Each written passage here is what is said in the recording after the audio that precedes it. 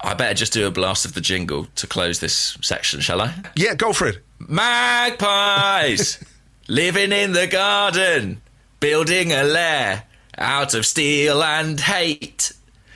Magpies, don't look directly at them.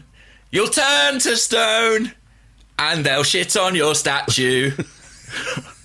Magpies, behold his mighty beak. His feathers are as black as his heart. And his shoes. Magpies! Magpie facts! You've taken it to an- another level. There we go. Do you know-